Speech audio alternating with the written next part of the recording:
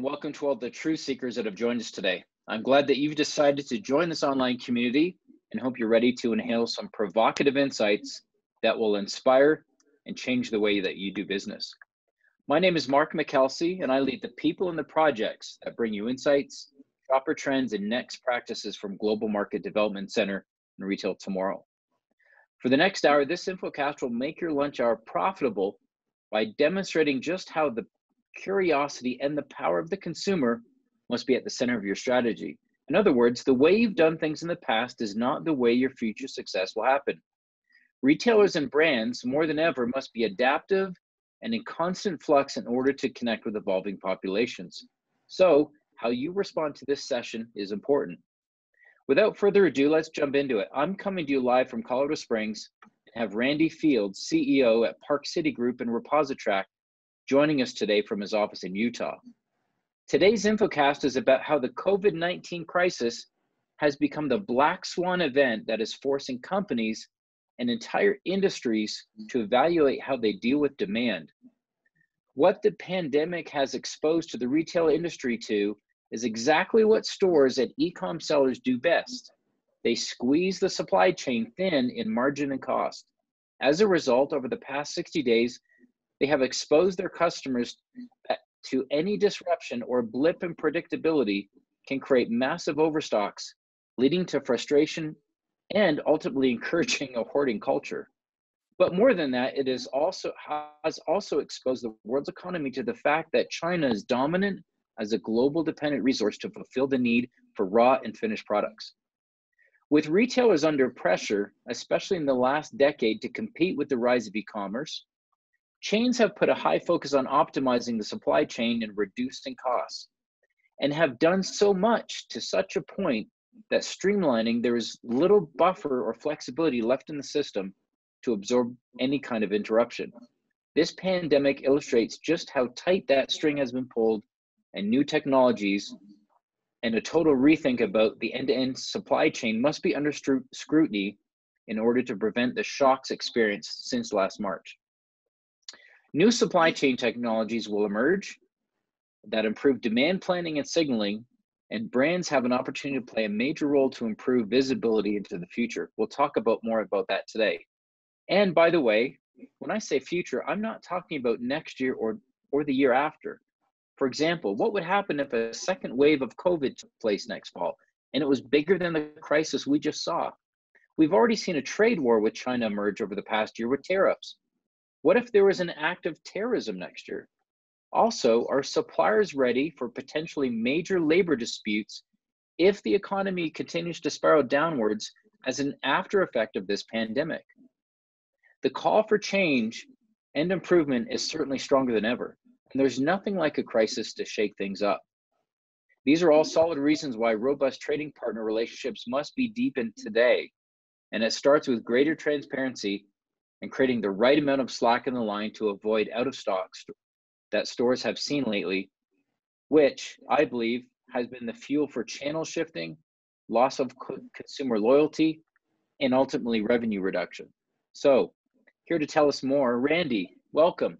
Would you kindly let our viewers know a little bit more of what they can learn today?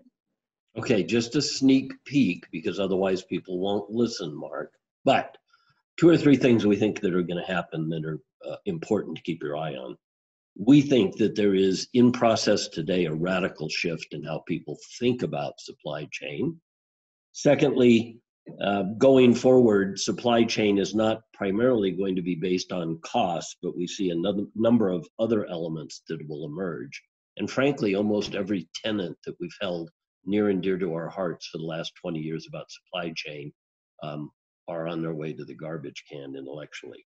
And if you were looking for a byword, uh, the word that will dominate how people think about supply chain, it's control, control, and control. That sounds great, Randy. Thank you. I'm looking forward to it. So back to our audience, before we get started and dive in, I'd like to remind you that we can take questions during or after the session. Please use the Q&A button, not the chat button at the bottom of your screen. I will be monitoring those questions and uh, prioritizing them and getting to them at the end of this hour. So please feel free to continue to, to use that throughout this next 30 to 40 minute session. So let's get started. Back over to you, Randy. Okay, thank you, Mark. By the way, um, we have seized control of your screens and your computers, and you will be unable to leave this session until you've asked at least one question. So please be thinking about that question so you can go about your work the rest of the day. All right, only kidding, only kidding. So we're going to talk a little bit about how we got to where we are in the supply chain. Let's go to the next slide. And I think it's important to understand what it was that led to the kinds of issues that we're facing today. I think there were two dominant strands of thinking. Frankly, they weren't indeed connected except recently. Let me describe them. About 20 years ago, um, or so, you began to read articles in places like the Harvard Business Review and other uh, intellectually important magazines about the importance of what was called just in time inventory. Uh, the Japanese call it kanban, which is really a way of thinking. In fact, it means technically billboard or big sign. Um, the idea of kanban was that you would have a company like Toyota that was incredibly efficient at manufacturing. So, of course, uh, magazines needing uh, space to be filled sent reporters to try and understand what it was in, in the Toyota supply chain that produced magical results. And it came back and it was summarized in the idea of just in time inventory, just in time manufacturing. So we've spent an enormous amount of time and money over the last 20 years creating a perverse, we would call it, a perverse form of just in time inventory management or just in time manufacturing. And we think that that whole strain of thinking has been at the root of what we're experiencing today, which is a near catastrophe and breakdown of the supply chain. On the other hand, simultaneously, US consumers or businesses, we don't know which, there's a chicken and egg issue here, began to focus primarily in terms of their business strategy on the idea of cost. That somehow consumers seemed primarily to care about cost, and that that began to dominate our thinking about products, processes, inventories, manufacturing, where things came from, etc. Uh, the leader of the charge clearly was Walmart, but that kind of cost centric thinking um, obviously led to, uh, if not a revolution, a way of thinking about the world across retail and its entire supply chain. Let's go to the next slide. Now, I'm going to I'm going to delve into a little bit of detail on each of these because you can tell from the way I structured that. I think that the collision of just-in-time inventory thinking, supply chain thinking, and the idea that the only thing that matters in retail is cost or that it's the primary determinant of consumers obviously both were misplaced and now we're going to pay for it for some period of time. So what i really want to do is to decompose the just-in-time inventory theory um, and explain if, if i can because it even confuses me and i've given a lot of thought to it. How in the hell did people ever think that it was the right idea? And how did we in fact change the idea morph it until it represented something that had nothing to do with what toyota would do? If the ceo of toyota were, was looking at the supply chain of the average company today he would express i'm sure in, in very polite japanese fashion that we are wildly off the mark so let's talk a little bit about it clearly Toyota has been a world leader, not in thought, but in practice, about how you produce a product that's reasonably priced, but extremely high quality and reliability. Toyota doesn't think primarily, incidentally, in terms of the cost. They actually think about the consumer, what the consumer wants by way of reliability and brand integrity. Now, how did it do that? How did it manifest that idea? Well, actually, the primary thing that it thought about wasn't just in time inventory. It actually thought through the lens, and it's going to come back today control. Toyota wanted control. How did it get control over its manufacturing? Well, that's where this idea of Kanban in, in Japanese parlance came to be. Start with, for example, Toyota owns significant pieces of many, if not most, of their suppliers. So they have a seat at the table in terms of how their suppliers behave, not just as a customer, but as an owner. So control dominated the Toyota thinking.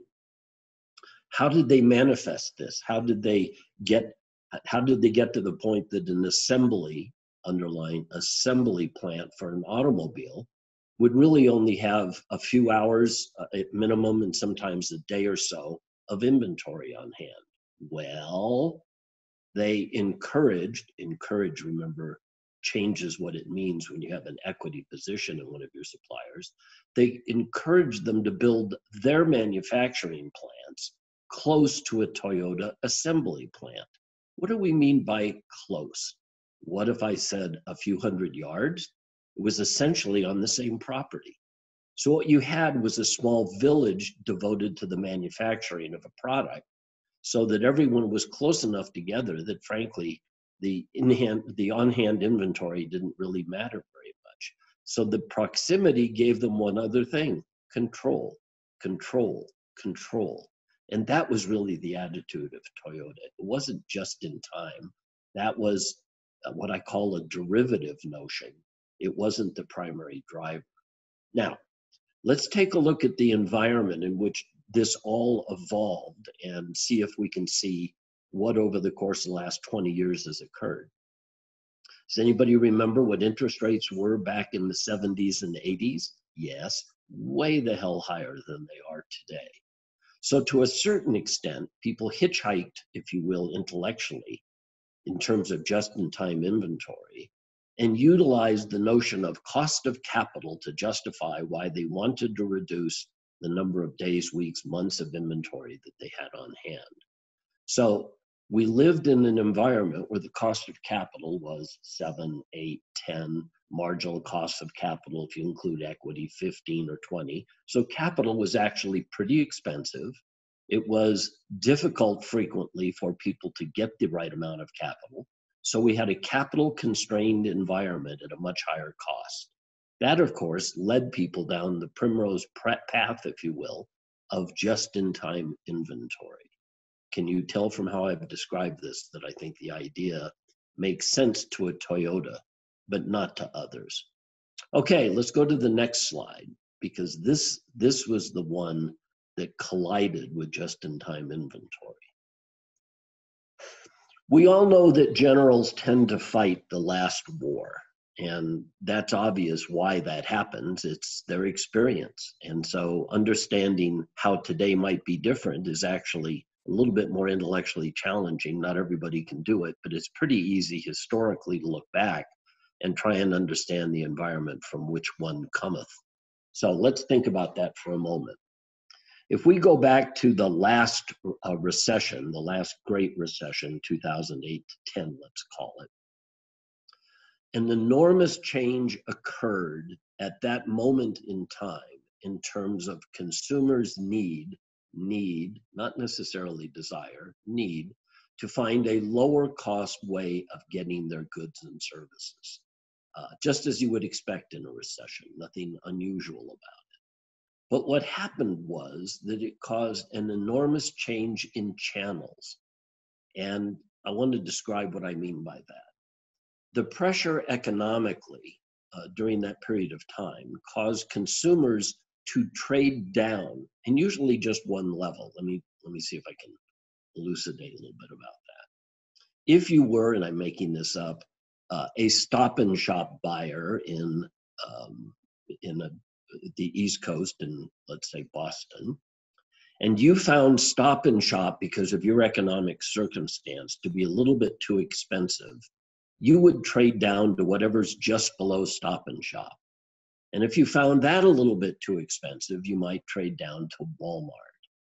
And if you were a Walmart shopper and you found Walmart too expensive, you ended up in the dollar store channel. In other words, we think people self sorted themselves back in 2008 10 into a channel that gave them the price uh, that they were in fact looking for, that they could afford.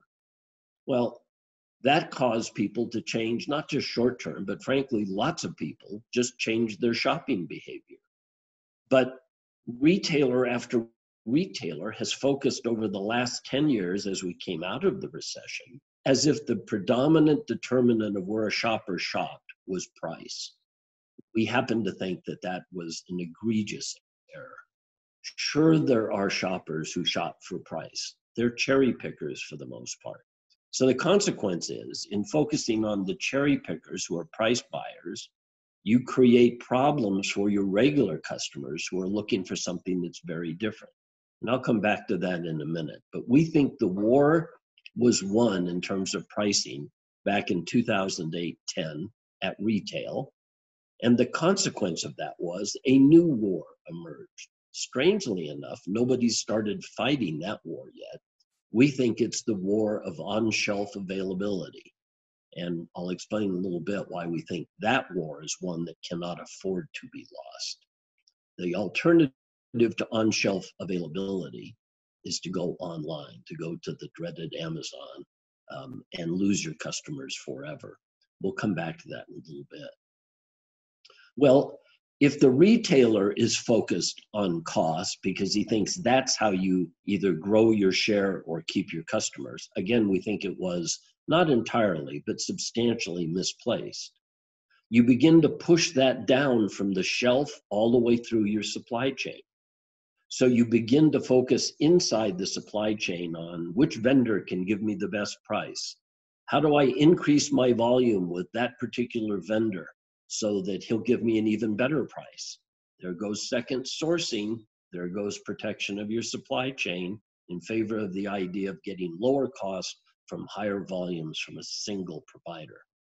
And ultimately, what we believe this did was to do what we call get away from just in time to WFA, way far away supply chains. The idea that products come from, let's say, China is almost unimaginable. How about this? About 25 years ago, please don't hold me to the number, there were hundreds and hundreds and hundreds of canners in America, people who put things into cans and sold them at retail. Just for fun, go Google the number of canners left in America. By and large, they've all left. I believe there's less than 10 in the United States today, down from hundreds. And I could go on and on and on about we, how we have taken our supply chain and literally moved it offshore at great distance. That's the opposite of just in time. It's the absolute opposite of just in time inventory. Just in time requires proximity. You can't separate those two ideas. So now we operate in a world that we call WFA, way far away, and we think that era is rapidly coming to an end. Let's take a look at the next slide. So, what does that produce? This, this confluence, if you will, of the idea of just in time lean inventories and a cost consciousness on the part of supply chain uh, participants and practitioners that focuses simply on the idea of have as little as possible and make it as far away as you can. Well, two things. Resilience is absolutely, utterly gone, completely gone. And we see that today if you go into a supermarket and you find, interestingly, that many things are in short supply. But here's what else is interesting there's another side of this. If you take a look at the supermarket channel, and if we and I know primarily the people on this call are not in the food area, but let's let's pick that since without food you wouldn't have supermarkets, right? So let's talk about the food supply chain. The food supply chain actually now branches at the farm. So you have farmers whose primary market, if you will, is retail food, supermarkets. You have other farmers who, at the end of their supply chain, primarily service and provide food for food service. So, where we are today is food service has been shut down by and large. supermarkets are uh, chock a block with customers and lack product. So if you assume it's the same supply chain, meaning it all begins with some farmer growing something, look what's happened. Massive overcapacity on one hand, where people are pouring milk out and killing little piglets, etc.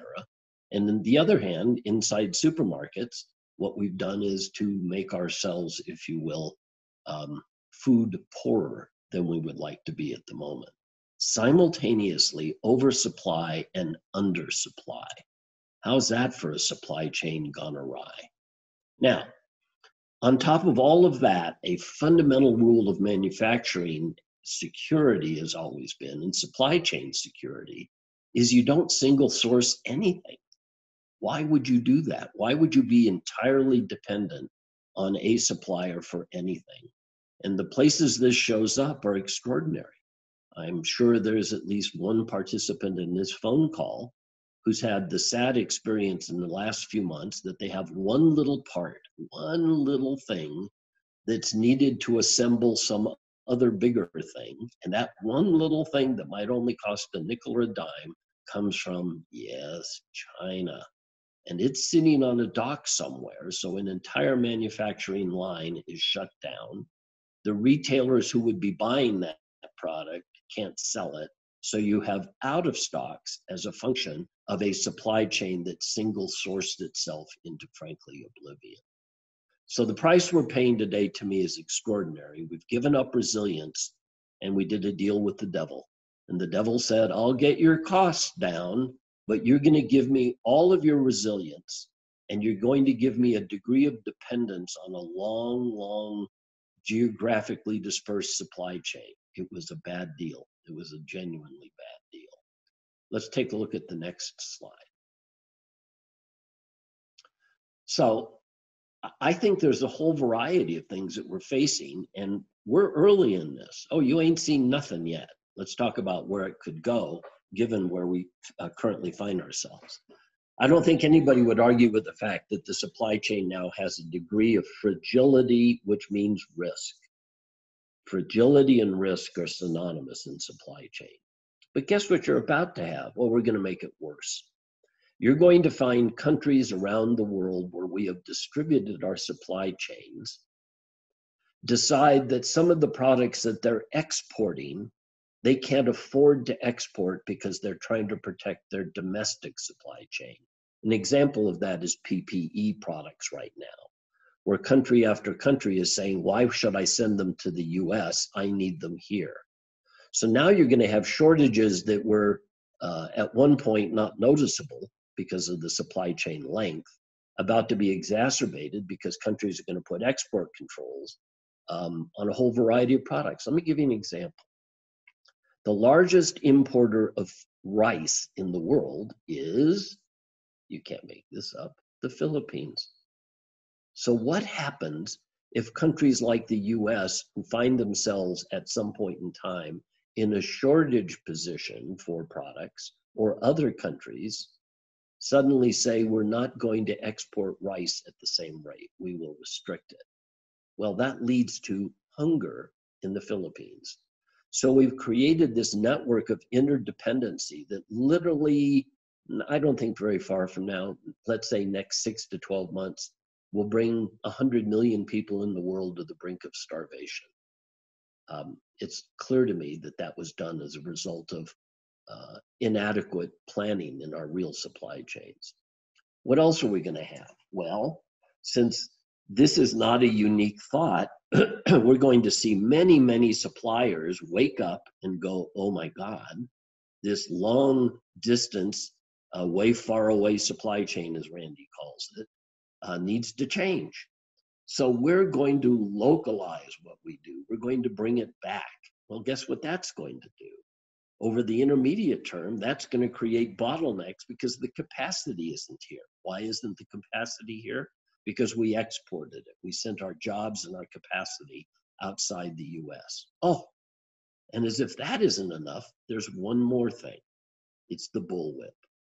So let's talk about what we're about to experience for suppliers to retail. Suppose you were a, um, a retailer and uh, you sell toilet paper, pick that one because everybody seems fixated on it. So, what happens with toilet paper? Well, for a reason that none of us know, but I'm old enough to remember when Johnny Carson went on TV one night and said there's going to be a toilet paper shortage. The next day, there was no toilet paper to be purchased in America. There was no shortage per se, but there was a perception of shortage, and that led to a real shortage. So we can probably assume that's true for toilet paper. So you go into a supermarket, you go to buy toilet paper, you notice that most of what you want is gone. You kind of think, wow, must be something going on with toilet paper. I'll buy more than I need. All right. So let's follow that chain up to the buyer of toilet paper at that retailer. What does he do? Suppose his normal order is, I'm making this up obviously, 100 cases of toilet paper. So he places his order for 100 cases. His supplier is seeing this all around America. So his supplier puts him on allocation. So instead of 100 cases, he ships him 50 cases, let's say. Oh, okay. Well, this guy wasn't uh, just didn't fall off a turnip truck, this buyer. He knows what to do. The demand for toilet paper is now going up. So he's not going to place an order for 100 expecting to get 50. He's going to place an order for 200 hoping to get 100. Whoops. And everybody's doing that. So what's in the process of occurring is because we see this, we're in this business, we're seeing people arbitrarily increase their order size because the fill rate has fallen dramatically. Result, there's a whole bunch of phantom orders out there. And once the supermarket has so much toilet paper, they're storing it in their CEO's office, you're going to see those orders backed off and canceled. That's the other side of the bullwhip. We don't think we're too far from that. Let's go to the next slide. So, what does the future look like given this mess? Well, you, you don't have to be a rocket scientist to figure out that our thinking is that the entire supply chain is about to be revamped. The focus will be on speed, and I'm going to come back to an interesting idea, something that we call visibility, and increasingly the avoidance of out of stocks, which has not been the primary focus of either retailers, frankly, or CPG companies supplying retailers. So, the operative word, as I mentioned in our introduction, is the idea of control. That means we expect people will want to control their supply chain's resilience. Every aspect of their supply chain will now be dominated by the idea of not being at effect from the supply chain, but being in control of the supply chain. So here's some examples. If I have two choices of supply chain partners, one of them is in China and the other is in Toledo, I think I'm going to take the guy in Toledo. And I know I'm going to pay a little bit more for that. Okay, what else? Well, what if the guy in Toledo has a problem? What if his workers get COVID? Or what if one of his suppliers fails? Well, I can't depend on him. So I'm going to go back to something that, that almost everyone did 50 years ago. I'm going to multi source. I'm going to have a second source of supply. And I might even contract with my primary supplier to force him to find for me a second sourcing. So you're going to see all kinds of interesting business arrangements between suppliers and their customers over the idea of second and third sourcing. And yes, you'll pay a higher price. Of course you will. Now, let's go to the next level. The cost of capital, call me crazy, is essentially zero. How long will it stay that way, Randy? Well, let me give you an economic view that we have. And I apologize because it's a bit of a bearish view, and I hate to do this, but you have to have a, a starting assumption about the world in which you're going to be working. Uh, we run a, our own modeling for what we see so that we can help our customers plan. But we are not optimists about the economy. We believe that we've done very substantial structural damage in shutting the economy down. I won't argue about whether or not that was a good or bad decision, but it is the decision, and here we are. We believe that the first step in this recession, or whatever it's called, the first step is what you've already seen.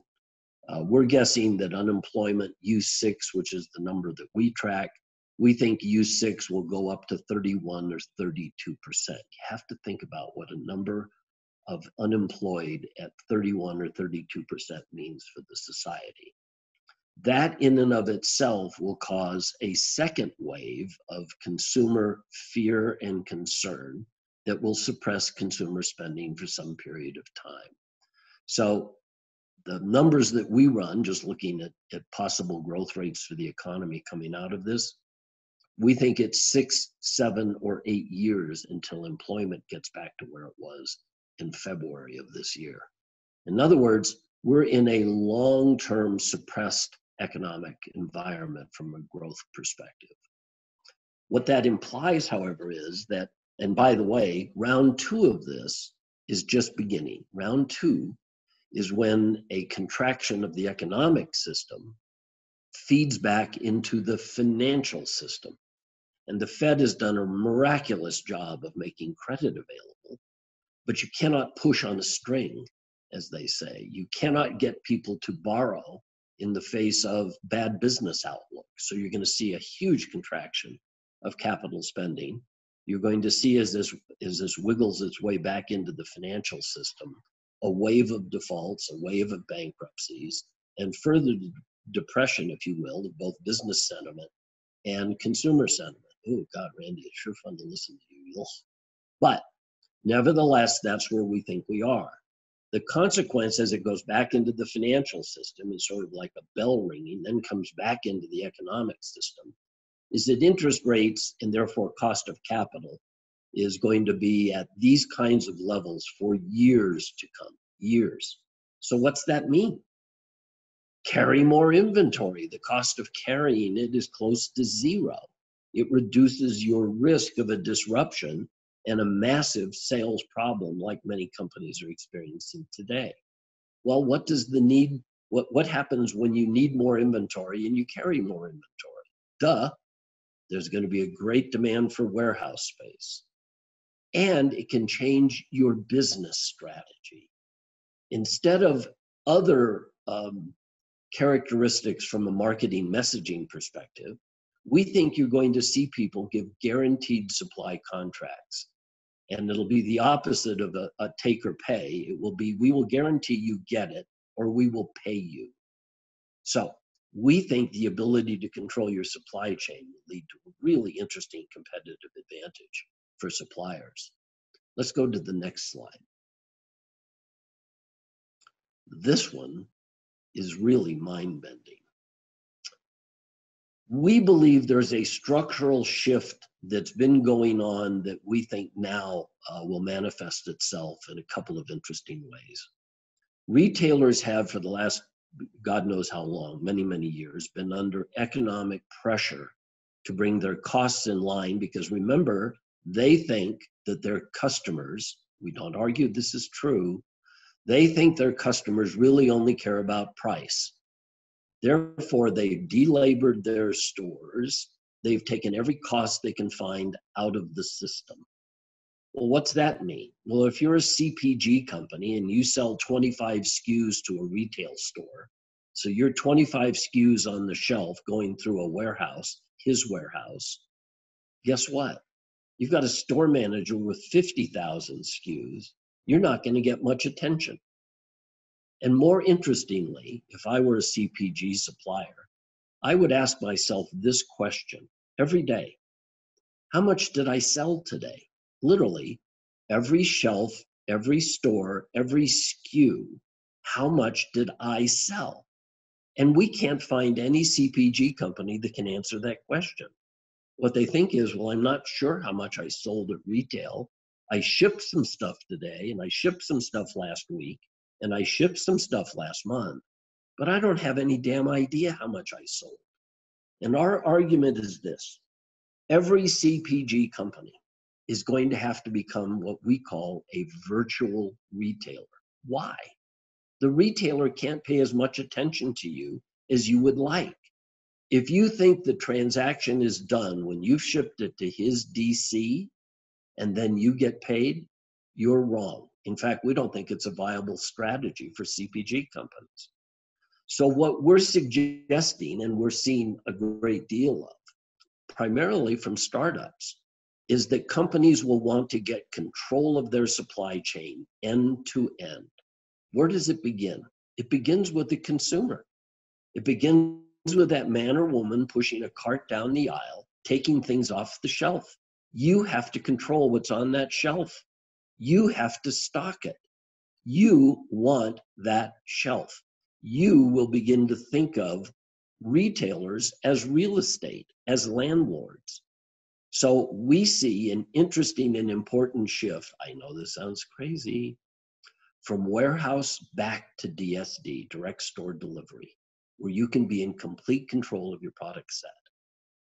And ultimately, what we think that means is you have to have visibility to the shelf.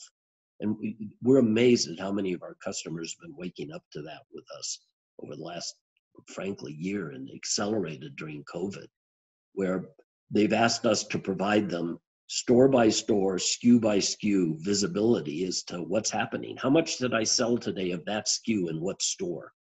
That gives you future demand planning capability so you can plan better what your supply chain should be bringing in the back door of your manufacturing plant. So we believe that at the end of the day, owning that shelf, controlling it likely from a DSD perspective, but under any circumstance, having visibility to what's on the shelf, what's selling store by store, puts you in control of your destiny. Ask yourself the question what else has changed between the retailer and the CPG company dramatically over the last 15 years? How about this? He became your competitor. If you're a CPG company, your foremost competitor today is not another brand, it's private label. It's all over. So, what that means is that if you're not watching your out of stocks on the shelf at every retail store every single day, your retailer doesn't care as much about restocking you as he does restocking his private label brand. So, you're gradually liquidating your brand equity in favor of the private label product. Do this just for imagine, uh, just imagine for a moment. You walk into a retail store today, and out of stocks are driving it. We believe it's at its extreme right now, but it's still the mentality of a shopper. But we can see it in extremis, which is today's out of stock world. So you walk over to the toilet paper aisle, and you are a dedicated, I will never use anything other than Charmin toilet paper person. Sorry, dude, no Charmin. Hmm. So Interesting question. Do you do without toilet paper? Not likely. So what do you do? You see president's toilet paper. You say, well, all right, any port in the storm. And you try it and you take it home and you say, well, you know what? This is 50% less. They have it in stock and it's not so bad. You just lost Mr. Charmin a customer, likely a customer for life. Our argument is right now, every CPG company has to know every single day, every single SKU, every single store. Where are you out of stock and what are you doing to fix it? Control, control, control. So, uh, by the way, we've measured this. We've had customers who tell us, oh, you know, DSD is too expensive. Oh, really? Well, let me describe expensive. Uh, we have an interesting case study that, that occurred with us sadly about a year ago. We had a DSD uh, supplier that was supplying many thousands of stores, and they concluded that DSD had too much cost associated with it. So they shifted their strategy from DSD and control to the warehouse. So we got to measure what it mattered to them. It was actually over a 50% decline in sales. 50%. Now, routinely, we see 20 to 30% decreases in sales, or the other side of it, 20 to 40% increases in sales when people go from the warehouse to DSD. So we see a shift, even if it looks more expensive. Remember, you're trading costs for control, and you're eventually going to liquidate your brand if private label takes your customers. Let's go to the next slide. Oh, by the way, good news, I think. If we are correct, let me give you some stats. They're horrifying on, on the one hand. Uh, the only economic forecasting that we think is is reliable and one that we would consider using, other than our own, comes from the CBO, the Congressional Budget Office. They're actually pretty good. Not as good as when Alice Rivlin was there, but they're still pretty good. So if you look at the CBO, and they're estimating now this is not U6, this is just your headline unemployment rate. Here's what they think. They think by the end of 2021, now let's remember that date, end of 2021, almost 18 months from now, that the unemployment rate will have declined, declined to 9%. Wrap your brain around that. It will have declined to 9%. Remember, at the peak of the last Great Recession, which was horrific, they called it a once in a lifetime event. It peaked at 10. So 18 months from now, after a struggling recovery, assuming COVID has gone away, don't bet on that, unemployment will have declined from its peak in the 20s, the way they measure it, down to a 9% rate. That is not going to be a stunning environment. So it means the tight labor market that we'd experience is going to change dramatically. So if you're ever going to go back to the idea of DSD, the labor market favors that right now. Okay, next slide. So what do we think? Speed matters, visibility to the shelf matters. If you cannot see every store, every SKU, every day right now, you're out of control of your business and you're going to pay the price. It's really that simple. We think, in summary, there's going to be a bunch of new winners, many old losers, and that the two key ingredients here are speed and, and visibility. Let's go to the next slide. We'll show you some of the things. And it's interesting because th this is the kinds of problems that we solve for our customers. And it's just like the this is the list of stuff that people have asked us to work on in the last uh, six or eight weeks out of stocks, up, upper left-hand corner.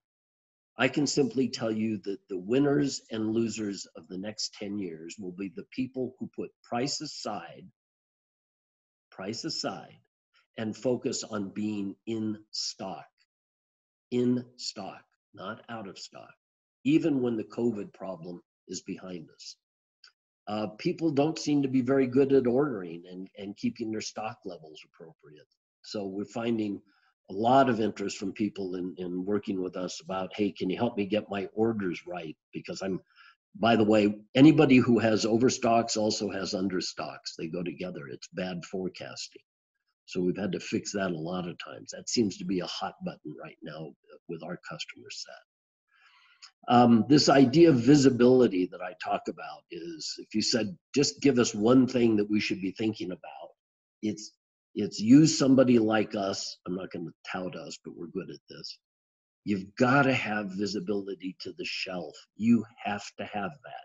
You cannot rely on the retailer to take care of your products. You have to be on the shelf, store by store, SKU by SKU, day by day. You have to see it, you have to know where the problems are, and you have to find a way to address the problems. Um, we've developed a whole methodology for helping people find local sourcing. The the China gig is done. Bring it back. Uh, we've we've actually developed some ways to help people find alternative suppliers. Um, and then overall, the risk of suppliers now is going up. So there's a, a, need to do more due diligence. We're finding a big demand from our customers on the idea of I need to do due diligence so I don't go all the way down the road with a prospective supplier only to find he's not somebody I can do business with. He doesn't have enough insurance, he doesn't have the financial capability, he failed his GFSI audit, whatever it would be. But we've never in our history experienced the kind of demand that we're seeing now for the sorts of supply chain services that, that we've been pro- providing. So I think the good news is lots of people are thinking about supply chain and what's broken and how they address it, not short term, but structurally. All right, I'll shut up and let you ask questions. Thank you, Randy. We really appreciate that. And uh, that is certainly great information and relevant to many of our suppliers and even some of the retailers that are on our call today. We do have a few questions and uh, looks like we still have about 10 minutes until the top of the hour. So let me go ahead and uh, and ask a few of those. So great call out in the beginning. And uh, again, even as we're to our audience, even as we're answering questions, please continue to to push those through to us. Uh, Randy, Amy is asking, when demand patterns normalize, what do you think the new reality will look like for retailers as they manage their omni-channel strategies? Yeah, that uh, great great question. The omni-channel strategy is difficult to say the least because you have two different kinds of demands being made against one set of inventories. And it's hard to know where it's going to be. For sure, when people can't go out, they're going to order more online. Is that permanent? No, of course not.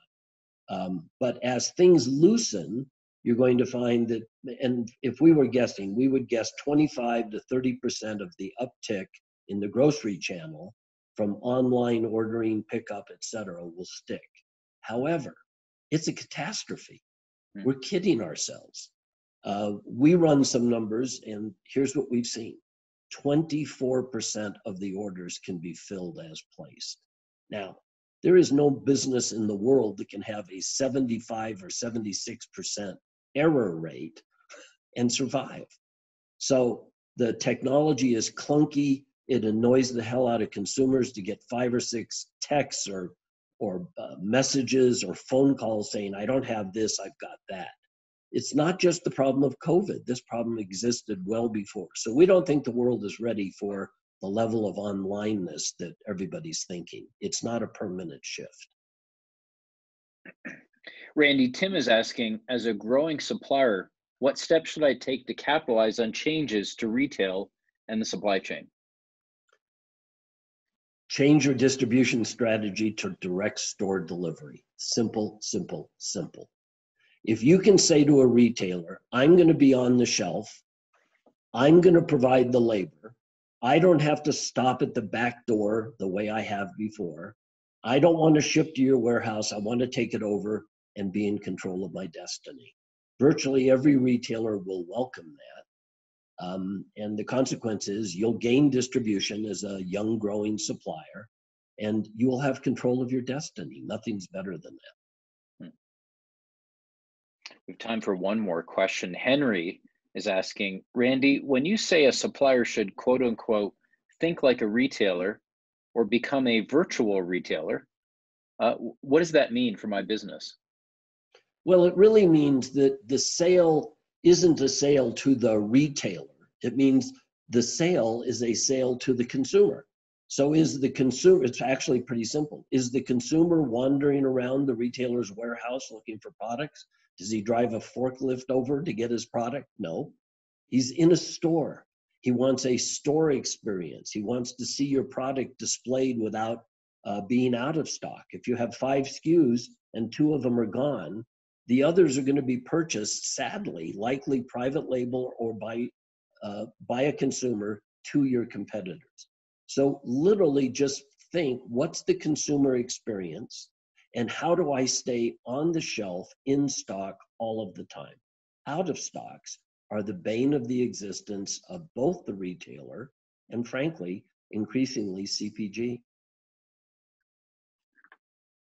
Well, Randy, we are out of time, but Randy, thank you once again for being part of this, not only as a longstanding GMDC member, but certainly for delivering the insights, the relevant insights for many of our viewers today. And um, please note that we're recording this and this will be available to many people who have perhaps missed this as well. So thanks, thanks again for your time today.